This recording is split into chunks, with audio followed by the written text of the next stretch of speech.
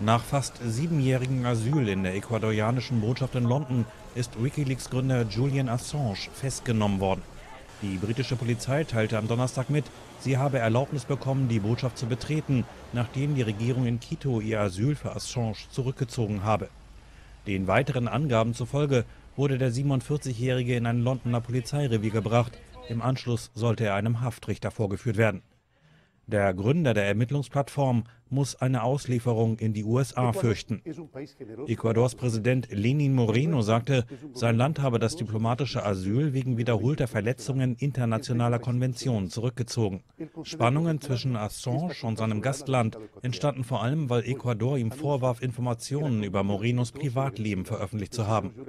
Moreno erklärte, man habe die Garantie der britischen Regierung, dass Assange nicht an ein Land ausgeliefert werde, in dem ihm die Todesstrafe drohen könnte.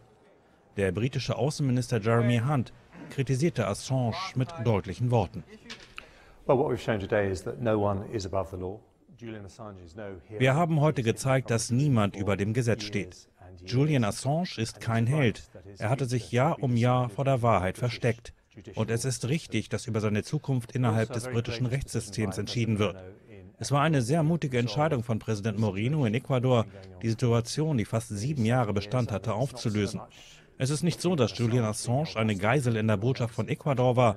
Vielmehr war es so, dass Julian Assange die Botschaft als Geisel genommen hatte und sie in eine unmögliche Lage gebracht hat. Das wird jetzt ordnungsgemäß entschieden, und zwar vom britischen Rechtssystem, das von der ganzen Welt respektiert wird.